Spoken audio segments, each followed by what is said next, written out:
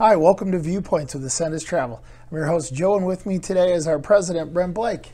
Hi, Joe. Welcome, sir. It's glad to be here. Yeah, it's been a while since we've had you, and uh, in the past, you and I have dove into the aircraft, and we've also dove into rental cars and what it's like. So, you and I have both been out on the road quite a bit lately, and I wanted to talk to you about your hotel experience. Yeah, it's different when you go out on the road is, now, isn't isn't, it? it? Yeah. Yeah. I'm finding that uh, you walk into the hotel and there's not a lot of people standing around the lobby, and uh, there's less staff walking around the hotel, and so it's definitely different. Yeah, the other thing that I've noticed as far as staffing is a lot of times the, the bar and restaurant areas aren't open, right? Or they're limited time frames that they are open. And, and when you do go in there, they have you spaced out and there's very few uh, people in there, or maybe there's not even snacks offered or anything like that anymore. Yeah, and I'm also seeing uh, housekeeping, you know, cleaning of the rooms. I checked in uh, last week and they said they're not going to provide housekeeping, and I said, What? And, uh, and they said, uh, Well, if you want it, you can opt in. So I immediately opted in to have my room cleaned. But it's the first time I've ever been asked to opt in for housekeeping. That's interesting, yeah. And certainly I haven't seen uh, any valets or anything like that in the last few that I've been in. I don't know what you've experienced from that standpoint. Yeah, few valets, and even the bell staff you can Right. tell is uh, considerably less than what it used to be. Yeah.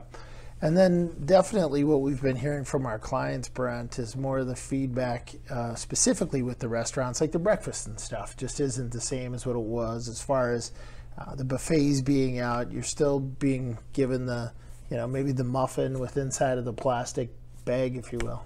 Yeah, it's uh, it is limited, and um, you definitely know that they've had made a conscious effort to to in, install COVID procedures. Yeah. and um, it's really I think it's impacting their service level, and I think the big question is is just how long this is going Right. to last. Yeah. So do you think that it is more around COVID? I mean, I know that created it. Where do you think it is now? If if if all of a sudden our numbers turn a lot better in the fall or something to that effect, do you think we'll see that staffing come right back right away? You know, that's a great question. The uh, the numbers of the hotels, the airlines, the rental cars Right. are all increasing, and so the question really is is why is the staff not where it used to be? And so I think it's more an indication of the shortage of labor that a lot of different industries are dealing with. But I think there's a little suspicion as well as uh, maybe if they don't bring back staff as fast, maybe they can make a little bit more money. Gotcha.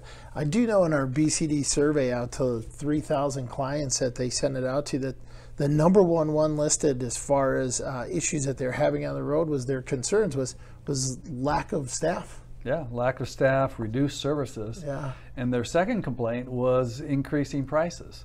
So, uh, and uh, that's not really a great combination if you're in the ho- hotel industry. Yeah, well, I know it's not really the hotel industry, but even when you're in the airports and they're packed with people and you see the gates down on past restaurants and stuff that were always open and it's noon.